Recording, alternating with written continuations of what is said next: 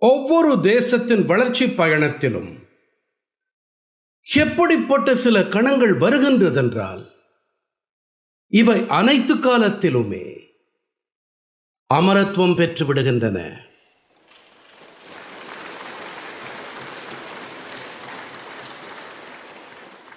சில தேதிகள் காலத்தின் நெற்றியிலே அழிக்க முடியாத முத்திரையை விட்டுச் செல்லுகின்றன.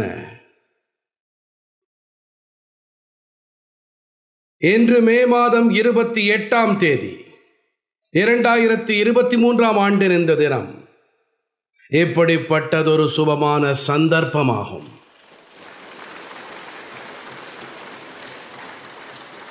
தேசம் சுதந்திரம் அடைந்த எழுபத்தைந்து ஆண்டு காலம் நிறைவேறிய பிறகு அமுத காலத்தை கொண்டாடி வருகிறது. இந்த அமுத காலத்திலே பாரத நாட்டு மக்கள் எல்லாம் தங்களுடைய ஜனநாயகத்திற்கு புதிய நாடாளுமன்றம் என்ற இந்த வெகுமதியினை அளித்திருக்கிறார்கள்.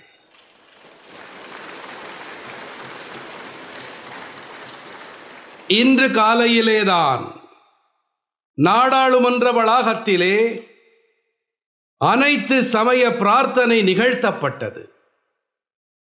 நான் நாட்டு மக்கள் அனைவருக்கும் பாரத நாட்டு ஜனநாயகத்தினுடைய இந்த பொன்னான வேளையை ஒட்டி பல பல நல்வாழ்த்துக்களை தெரிவித்துக் கொள்கிறேன்.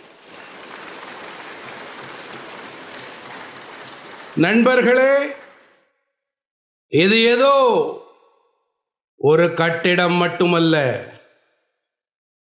இது நூற்றி நாற்பது கோடி நாட்டு மக்களினுடைய எதிர்பார்ப்புகளின் மற்றும் கனவுகளின் பிரதிபலிப்பாகும்.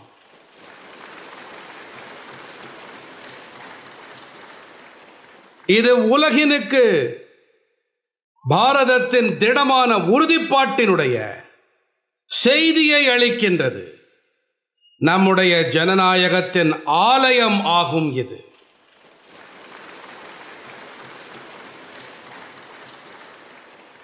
இந்த புதிய நாடாளுமன்ற கட்டிடம் திட்டங்களை நடைமுறையோடு கொள்கைகளை அமலாக்கத்தோடு உள்ள விருப்பங்களுக்கு உருவளிக்கும் வகையிலே தீர்மானங்களுக்கு உயிரளிக்கக்கூடிய முக்கியமான கட்டமாக இது திகழும். இந்த புதிய கட்டிடம் நம்முடைய சுதந்திர போராட்ட வீரர்களின் கனவுகளுக்கு வடிவம் கொடுக்கும் சாதனமாக விளங்கும். இந்த புதிய கட்டிடம் தற்சார்பு பாரதத்தினுடைய சூரியோதயத்தின் சாட்சியாக விளங்கும். இந்த புதிய கட்டிடம் வளர்ச்சியடைந்த பாரதத்தின் உறுதிப்பாடுகளினுடைய மெய்ப்பித்தல் அரங்கேறுவதை கண்குளிரக் காணும்.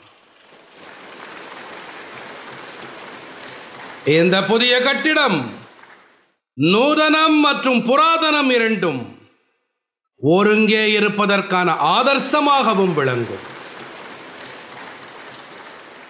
நண்பர்களே புதிய பாதையிலே பயணித்தால் மட்டுமே புதிய இலக்குகளை எட்ட முடியும்.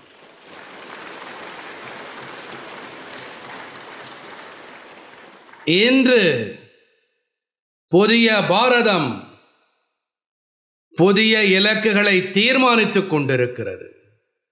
புதிய பாதையை அமைத்து வருகிறது. புதிய உற்சாகம் புதிய தெம்பு இருக்கிறது. புதிய பயணம் இது புதிய சிந்தனை இது. திசை புதியது பார்வை புதியது. உறுதிப்பாடு புதியது நம்பிக்கை புதியது.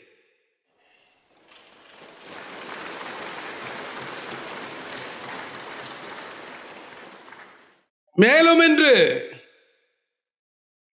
என்று மீண்டும் ஒரு முறை உலகம் முழுமையும் பாரதத்தை பாரதத்தின் திடமான உறுதிப்பாட்டினை பாரதவாசிகளின் தீவிரத்தை பாரத நாட்டு மக்களின் ஒருமித்த பேரார்வத்தை மரியாதை மற்றும் நம்பிக்கை நிரம்பிய உணர்வோடு கவனித்து வருகிறது.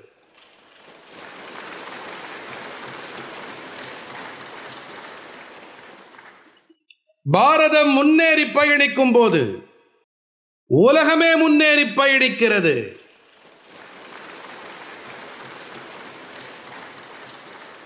நாடாளுமன்றத்தின் இந்த புதிய கட்டிடம் பாரதத்தின் வளர்ச்சியோடு கூட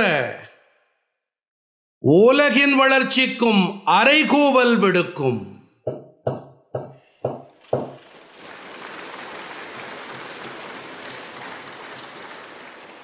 நண்பர்களே இன்று இந்த வரலாற்று சிறப்புமிக்க சந்தர்ப்பத்திலே சில நேரம் முன்பாக நாடாளுமன்றத்தின் இந்த புதிய கட்டிடத்திலே பவித்திரமான செங்கோலும் நிர்மாணம் செய்யப்பட்டிருக்கின்றது.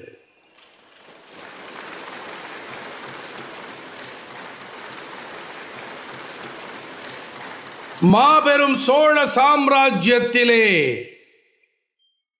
செங்கோலினை கடமை பாதையின் சேவை பாதையின் தேசப்பாதையின் அடையாளமாக கருதப்பட்டது.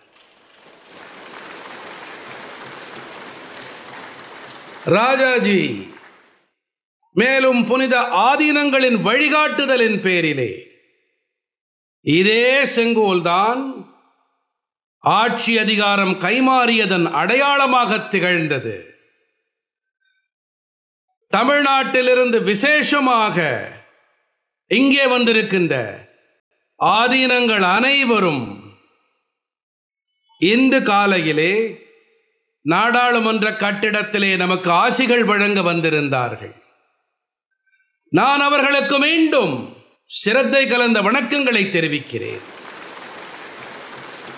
அவர்களுடைய வழிகாட்டுதலின் பேரிலேதான் மக்களவையிலே இந்த பவித்திரமான செங்கோல் நிர்மாணிக்கப்பட்டிருக்கிறது. கடந்த நாட்களிலே ஊடகங்களிலே இதோடு தொடர்புடைய பல தகவல்கள் வெளிச்சம் போட்டு காட்டப்பட்டன. நான் இவை பற்றி ஆழமாக இங்கே பேச விரும்பவில்லை. ஆனால் நான் திடமாக நம்புகிறேன். இது நம்முடைய பெரும் பேராகும். அதாவது இந்த பவித்திரமான செங்கோலுடைய கண்ணியத்தினை நம்மால் திரும்ப கொடுக்க முடிந்திருக்கிறது. அதனுடைய கௌரவம் மரியாதையை நம்மால் மீட்டுத்தர முடிந்திருக்கிறது. எப்போதெல்லாம் இந்த நாடாளுமன்ற அவையினிலே செயல்பாடுகள் துவங்கப்படுமோ செங்கோல் அப்போதெல்லாம் நமக்கு தொடர்ந்து உத்வேகம் அளித்து வரும். நண்பர்களே பாரதம் ஒரு ஜனநாயக நாடு மட்டுமல்ல மாறாக ஜனநாயகத்தின் பிறப்பிடமும் ஆகும். மதர் ஆஃப் டெமோக்ரஸியும் ஆகும். பாரதம் என்று உலகளாவிய ஜனநாயகத்தினுடைய மிகப்பெரிய ஆதாரமாகும். ஜனநாயகம் என்பது நம்மை பொறுத்தமட்டிலே ஒரு அமைப்பு மட்டுமே கிடையாது. இது ஒரு கலாச்சாரம். இது ஒரு கருத்து. இது ஒரு பாரம்பரியம். நமது வேதங்கள் நமக்கெல்லாம் சபாக்கள் மற்றும் சமிதிகளின் ஜனநாயக ஆதர்சத்தை கற்பிக்கிறது. மகாபாரதம் போன்ற நூல்களிலே குடியாட்சி மற்றும் குடியரசுகள் பற்றிய விவரங்கள் இருக்கின்றன. வைசாலி போன்ற குடியரசுகளிலே நாம் வாழ்ந்து காட்டியிருக்கிறோம். நாம் எல்லாம் பகவான் பசவேஸ்வரரின் அனுபவ மண்டபத்தை நமது கௌரவமாக கொண்டிருக்கிறோம். தமிழ்நாட்டிலே கிடைத்த பத்தாம் நூற்றாண்டைச் சேர்ந்த கல்வெட்டு இன்றும் கூட அனைவரையும் திகைப்பில் ஆழ்த்துகிறது. நம்முடைய ஜனநாயகம் தான் நமக்கெல்லாம் கருத்தூக்கம். நம்முடைய அரசியலமைப்பு சட்டம்தான் நமது உறுதிப்பாடாகும். இந்த உத்வேகம் இந்த உறுதிப்பாட்டின் மிக உயர்வான பிரதிநிதி என்று ஒன்று உண்டு என்றால் இதோ இந்த நாடாளுமன்றமே ஆகும். மேலும் இந்த நாடாளுமன்றம் தேசத்தின் எந்த நிறைவான பாரம்பரியத்தின் பிரதிநிதியாக இருக்கிறது என்றால் எதை பறைசாற்றுகிறது என்றால் ஷேத்தே நிபத்தியமானஸ்ய ஷேத்தே நிபத்தியமானஸ்ய சராதி சரதோ பகஹ சரைவேதி சரைவேதி சரைவேதி. இதன் பொருள் என்னவென்றால் யார் தடைப்படுகிறார்களோ அவர்களின் எதிர்காலமும் தடைபட்டு போகும். ஆனால் யார் பயணிக்கிறார்களோ அவர்களின் எதிர்காலமும் முன்னேறுகிறது உயரங்களை தொடுகிறது. ஆகையினாலே பயணித்துக் கொண்டே இரு. பயணித்துக் கொண்டே இரு. அடிமைத்தனத்திற்கு பிறகு நமது பாரத நாடு பலவற்றை இழந்த பிறகே தனது புதிய பயணத்தை தொடங்கியது. இந்த பயணம் ஏகப்பட்ட ஏற்ற இறக்கங்களை கடந்த பிறகு ஏராளமான சவால்களை கடந்த பிறகு சுதந்திரத்தின் அமுத காலத்திலே பிரவேசித்து விட்டது. சுதந்திரத்தின் இந்த அமுத காலம் மரபுகளை தன்னுள் அடக்கிக் கொண்டு வளர்ச்சியின் புதிய இலக்குகளை தீர்மானிக்கும் அமுத காலமாகும் சுதந்திரத்தின் இந்த அமுத காலம் தேசத்திற்கு புதியதொரு திசையை அளிக்கும் அமுத காலமாகும் சுதந்திரத்தின் இந்த அமுத காலம் அளவில்லா கனவுகளுக்கும் கணக்கில்லா எதிர்பார்ப்புகளுக்கும் உயிர்ப்பளிக்கும் அமுத காலமாகும் இந்த அமுத காலத்தின் அறைகூவல் என்னவென்றால் இந்த அமுத காலத்தின் அறைகூவல் என்னவென்றால் முக்த மாத்ரு பூமிக்கு முக்த மாத்ரு பூமிக்கு புதிய கௌரவம் தேவையே. புதிய விழாவினுக்கு புதிய உயிர்ப்பும் நமக்கு தேவையே.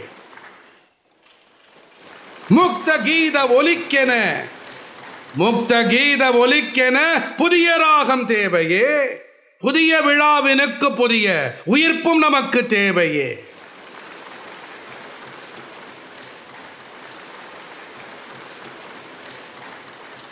ஆகையினாலேதான் பாரதத்தின் எதிர்காலத்தினை ஒளிமயமாக்கவல்ல. இந்த பணியிடமுமே கூட அதே அளவு நவீனமானதாக இருக்க வேண்டும். புதியதாக இருக்க வேண்டும். நண்பர்களே ஒரு காலத்திலே பாரத நாடு உலகத்தின் அதிகபட்ச தன்னிறைவு உடைய மற்றும் செழிப்புமிக்க நாடுகளின் வரிசையில் இடம்பெற்றிருந்தது. பாரதத்தின் நகரங்கள் தொடங்கி மாளிகைகள் வரை பாரதத்தின் கோயில்கள் தொடங்கி கடவுளர்கள் வரை பாரதத்தின் கட்டிடக்கலை பாரதத்தினுடைய நிபுணத்துவத்தை பறைசாற்றிக் கொண்டிருந்தது. சிந்து சமவெளியின் நகரமைப்பு தொடங்கி மௌரியர்கள் காலத்து தூண்கள் தூபிகள் வரை சோழ அரசர்கள் சமைத்த மகத்தான ஆலயங்கள் தொடங்கி நீர்நிலைகள் மற்றும் நீர் அணைகள் வரை பாரதத்தின் திறமை உலகெங்கிலும் இருந்தும் வரும் பயணிகளுக்கு வியப்பை ஏற்படுத்தியது. ஆனால் பல நூற்றாண்டு கால அடிமைத்தனமானது நம்மிடமிருந்து நம்முடைய இந்த கௌரவத்தை களவாண்டது. எப்படியும் ஒரு காலகட்டம் வந்தது. அப்போது நாம் பிற நாடுகளில் செய்யப்பட்ட கட்டுமானங்களை பார்த்து மதிமயங்கி போனோம்.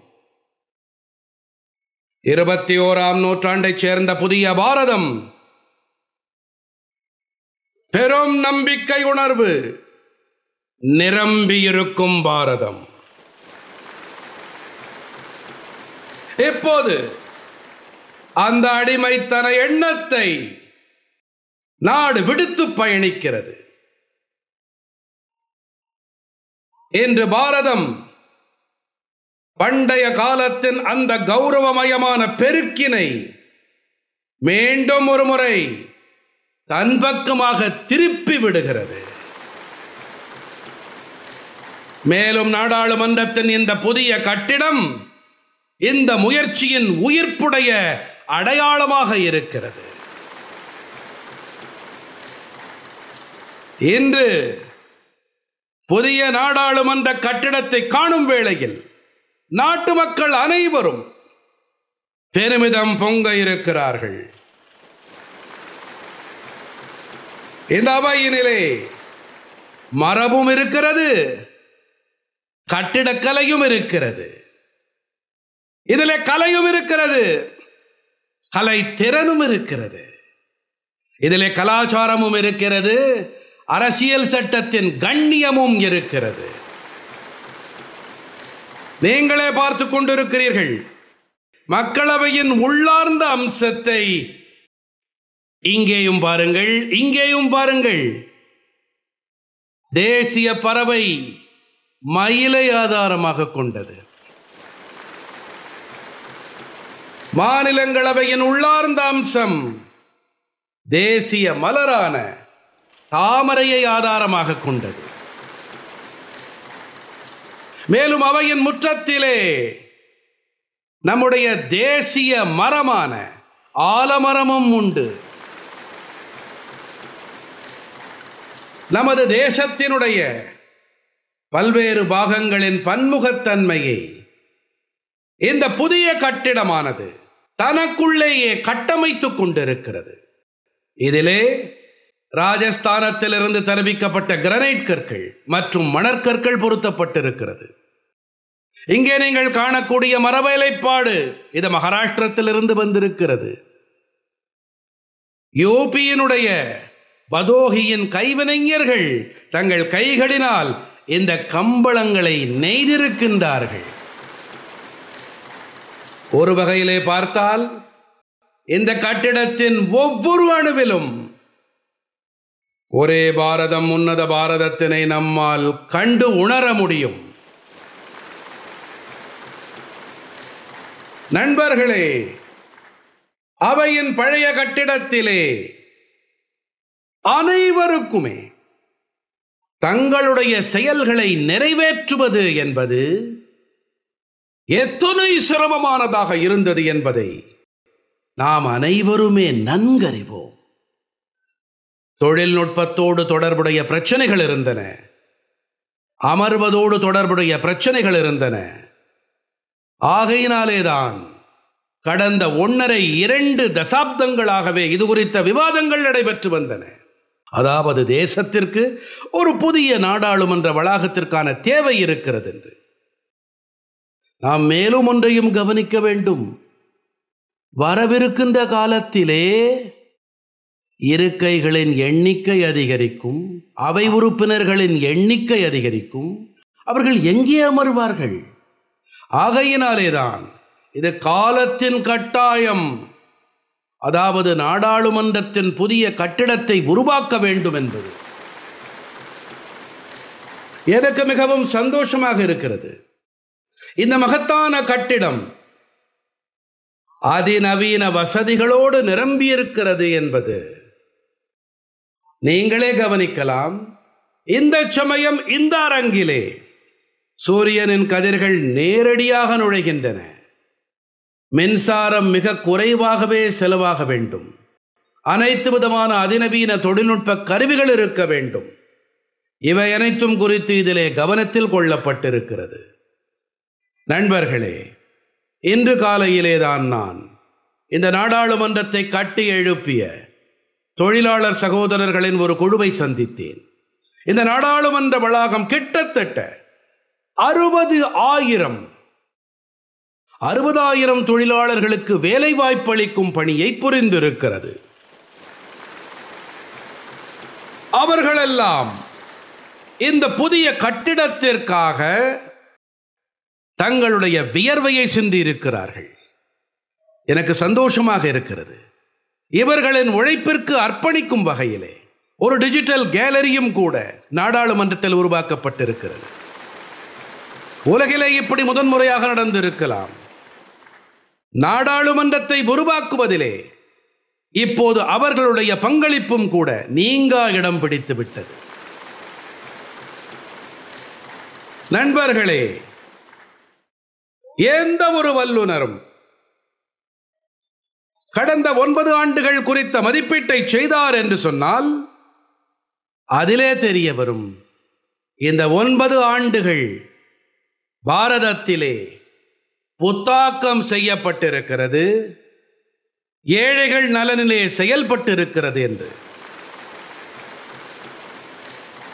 இன்று நமக்கு நாடாளுமன்றத்தின் புதிய கட்டிடம் எழுப்பப்பட்டதிலே பெருமிதம் இருக்கிறது. அதே நேரம் எனக்கு கடந்த ஒன்பது ஆண்டுகளிலே ஏழைகளினுடைய நான்கு கோடி இல்லங்கள் உருவாக்கப்பட்ட சந்தோஷமும் கூடவே இருக்கிறது.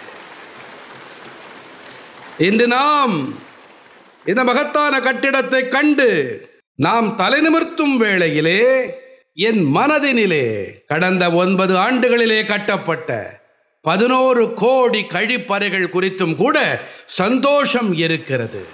இவைதாம் பெண்களின் கண்ணியத்தை காத்தளிக்கின்றன. அவர்களுடைய தலையை நிமிரச் செய்திருக்கின்றன. இந்த நாம் இந்த நாடாளுமன்றத்திலே வசதிகளை பற்றி பேசும் வேளையிலே எனக்கு சந்தோஷமாக இருக்கிறது. கடந்த இந்த ஒன்பது ஆண்டுகளிலே நாம் கிராமங்களை இணைத்து வைக்க நான்கு லட்சம் கிலோமீட்டர்களுக்கும் அதிகமான சாலைகளை உருவாக்கி இருக்கின்றோம். இன்று நாம் இந்த சூழலுக்கு நேசமான கட்டிடத்தை கண்டு மகிழும் வேளையிலே எனக்கு சந்தோஷமாக இருக்கிறது. அதாவது நாம் ஒவ்வொரு சொட்டு நீரையும் பாதுகாக்க வேண்டி ஐம்பதாயிரத்திற்கும் மேற்பட்ட அமுத நீர்நிலைகளை உருவாக்கி இருக்கிறோம்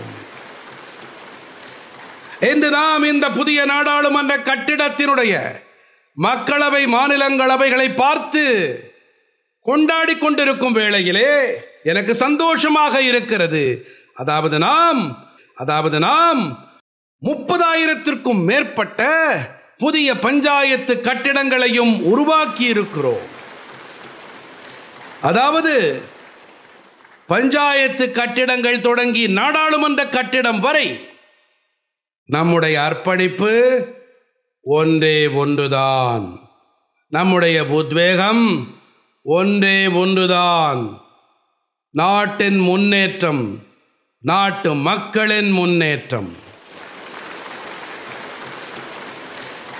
நண்பர்களே உங்களுக்கு கவனம் இருக்கலாம்.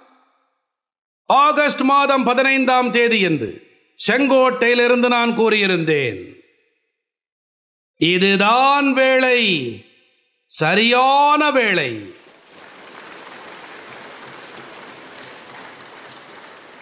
ஒவ்வொரு நாட்டின் வரலாற்றிலும் இப்படிப்பட்ட ஒரு வேளை வரும். அப்போது தேசத்தின் உணர்வு புது தெம்போடு விழிப்படையும். பாரதத்திலே சுதந்திரத்திற்கு இருபத்தைந்து ஆண்டுகள் முன்பாக நாற்பத்தி ஏழுக்கு இருபத்தைந்து ஆண்டுகள் முன்பான காலம் அது. சுதந்திரத்திற்கு இருபத்தி ஐந்து ஆண்டுகள் முன்பாக இப்படிப்பட்ட காலம் வந்தது.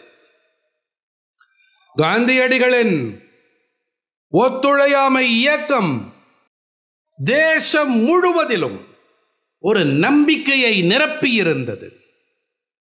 காந்தியடிகள் சுயராஜ்யம் என்ற உறுதிப்பாட்டோடு பாரத நாட்டவர் அனைவரையும் இணைத்து விட்டார்கள். அந்த காலகட்டத்திலே ஒவ்வொரு இந்தியரும் சுதந்திரத்திற்காக உடல் பொருள் ஆவியோடு கலந்து விட்டார்கள். இதன் விளைவினை நாம் ஆயிரத்தி தொள்ளாயிரத்தி நாற்பத்தி ஏழிலே பாரதத்தின் சுதந்திரம் என்ற வகையிலே பார்த்தோம். சுதந்திரத்தின் இந்த அமுத காலமுமே கூட பாரதத்தின் வரலாற்றிலே அப்படிப்பட்ட ஒரு காலகட்டம் தான் இன்றிலிருந்து ஐந்து ஆண்டுகள் கழித்து பாரதம் தன்னுடைய சுதந்திரத்தினுடைய நூறு ஆண்டுகளை நிறைவு செய்யும். நம் வசம் கூட இருபத்தி ஐந்து ஆண்டுகள் என்ற காலகட்டம் இருக்கிறது. இந்த இருபத்தைந்து ஆண்டுகளிலே நாம் இணைந்து பாரதத்தை வளர்ந்த நாடாக ஆக்க வேண்டும்.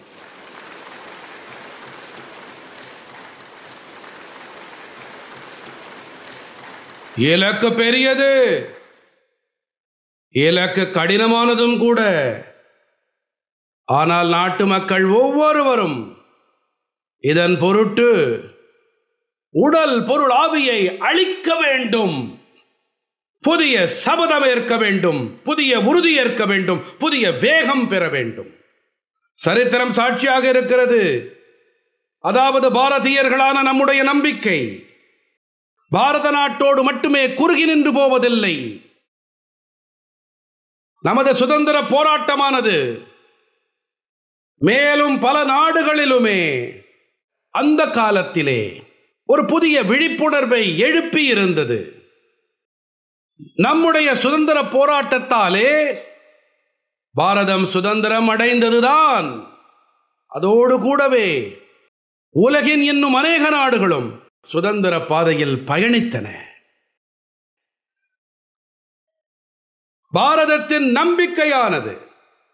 பிற நாடுகளுக்கும் கூட பிற நாடுகளின் நம்பிக்கைக்கும் கூட உதவிகரமாக இருந்தது.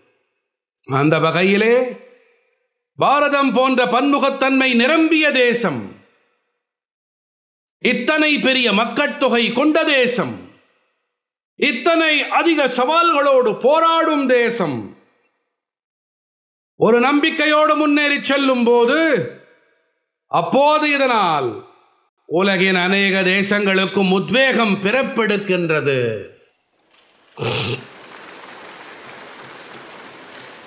பாரதத்தின் அனைத்து வெற்றிகளும் இனிவரும் நாட்களிலே உலகின் பல்வேறு நிலப்பகுதிகளிலேயும் கூட பல்வேறு தேசங்களின் வெற்றியினுடைய உத்வேகத்தின் காரணமாக பார்க்கப்படும். என்று நமது பாரதம் விரைவாக ஏழ்மையை தொலைக்கும் வேளையிலே அப்போது இது பல நாடுகளுக்கும் ஏழ்மையிலிருந்து வெளிவரும் கருத்தூக்கத்தையும் அளிக்கின்றது. வளர்ந்த நாடாகும் பாரதத்தின் உறுதிப்பாடு மேலும் பல நாடுகளின் உறுதிப்பாடாக மிளிரும். ஆகையினாலே பாரதத்தின் பொறுப்பானது மேலும் பெரியதாக ஆகின்றது. மேலும் நண்பர்களே வெற்றிக்கான முதல் விதிமுறை என்ன? வெற்றிக்கான முதல் விதிமுறை வெற்றி பெறுவோம் என்ற தன்னம்பிக்கைதான். இந்த புதிய நாடாளுமன்ற கட்டிடம் இந்த நம்பிக்கைக்கு புதிய பலத்தை அளிக்க இருக்கிறது. வளர்ந்த பாரதத்தை உருவாக்குவதிலே நம் அனைவருக்கும் உத்வேக காரணியாக இருக்கும் இது. இந்த நாடாளுமன்ற கட்டிடம் ஒவ்வொரு இந்தியனின் கடமை உணர்வை விழிப்படையச் செய்யும். எனக்கு நம்பிக்கை இருக்கிறது. இந்த நாடாளுமன்றத்திலே அமரவிருக்கும் அவை உறுப்பினர்கள் இவர்கள் புதிய உத்வேகத்தோடு மக்களாட்சி முறைக்கு புதிய திசைகளுக்கும் முயற்சியில் ஈடுபடுவார்கள். நாம் தேசத்திற்கே முதன்மை என்ற உணர்வோடு முன்னேறி செல்ல வேண்டும். இதம் ராஷ்டிராய இதன் நமமா. நாம் கடமை பாதையை அனைத்திற்கும் மேலானதாக கொள்ள வேண்டும். கர்த்தவியமேவ கர்த்தவியம் கர்த்தவியம். அகர்த்தவியம் ந கர்த்தவியம். நாம் நமது வழிமுறைகளால் எடுத்துக்காட்டாக விளங்க வேண்டும். யத்யதா சரதி சிரேஷ்டக தத்தேவ இதரோ ஜனகா நாம் தொடர்ந்து நம்மிடத்திலே மேம்பாடுகளை ஏற்படுத்தி வர வேண்டும். உத்தரேத் ஆத்மனா ஆத்மானம். நாம் நமது புதிய பாதையை நாமே அமைத்துக் கொள்ள வேண்டும். அப்பதீபோ பவகா நாம் நம்மையே அர்ப்பணிக்க வேண்டும். சமர்ப்பிக்க வேண்டும். தபசோகி பரமநாஸ்தி தபசா நிந்ததே மகதா. நாம் மக்கள் நலன் ஒன்றையே நமது வாழ்க்கை மந்திரமாக கொள்ள வேண்டும். லோகஹிதம் மம கரணீயம். நாம் நாடாளுமன்றத்தின் இந்த புதிய கட்டிடத்திலே நமது கடமைகளை நாம் நேர்மையாக நிறைவேற்றும் போது நாட்டு மக்களிடையேயும் கூட புதிய உத்வேகம் பிறக்கிறது. நண்பர்களே உலகின் மிகப்பெரிய ஜனநாயகத்திற்கு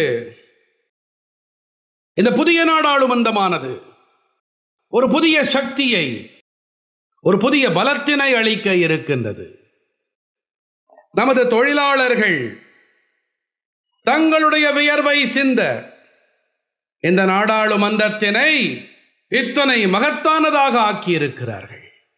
இப்போது உறுப்பினர்களான நம் அனைவரின் கடமை இதனை நம்முடைய அர்ப்பணிப்பால் மேலும் அதிக திவ்யமானதாக ஆக்குவதுதான்.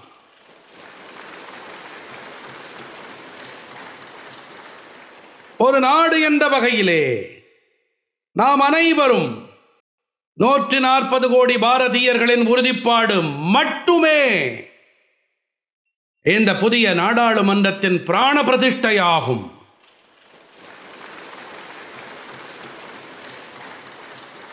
இங்கே மேற்கொள்ளப்படுகின்ற ஒவ்வொரு முடிவும் வரவிருக்கும் நூற்றாண்டுகளை மெருகூட்ட செம்மையாக்க வல்லது இங்கே மேற்கொள்ளப்படும் ஒவ்வொரு முடிவும் வரவிருக்கும் தலைமுறைகளுக்கு அதிகாரத்தை அளிக்க வல்லது.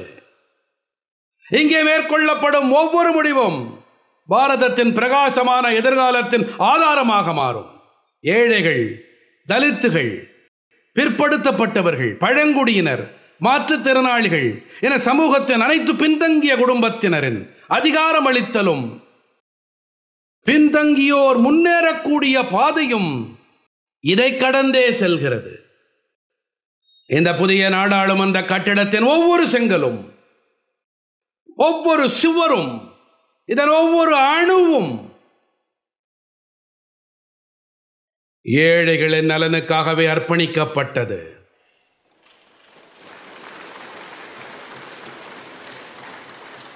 அடுத்த இருபத்தைந்து ஆண்டுகளிலே நாடாளுமன்றத்தின் இந்த புதிய கட்டடத்தில் ஏற்படுத்தப்படும் புதிய சட்டங்கள் பாரதத்தை வளர்ந்த பாரதமாக உருமாற்றும். இந்த நாடாளுமன்றத்தில் உருவாக்கப்படும் சட்டங்கள் பாரதத்தை ஏழ்மையிலிருந்து வெளியே கொண்டு செல்வதில் உதவியாக இருக்கும். இந்த நாடாளுமன்றத்தில் உருவாக்கப்படும் சட்டங்கள் தேசத்தின் இளைஞர்களுக்கு பெண்களுக்கு புதிய சந்தர்ப்பங்களை அமைத்துக் கொடுக்கும். எனக்கு நம்பிக்கை இருக்கிறது. நாடாளுமன்றத்தின் இந்த புதிய கட்டிடம் புதிய பாரதத்தின் உருவாக்கத்தின் ஆதாரமாக விளங்கும். ஒரு தன்னிறைவான சக்தி படைத்த வளர்ந்த பாரதம். நீதி நியாயம் சத்தியம் கண்ணியம் மற்றும் கடமை பாதையிலே மேலும் அதிக சக்தியோடு பயணிக்கும் பாரதம். நான் பாரதவாசிகள் அனைவருக்கும் புதிய நாடாளுமன்றத்தின் பொருட்டு மீண்டும் பல பல நல்வாழ்த்துக்களை தெரிவிக்கிறேன். நன்றி.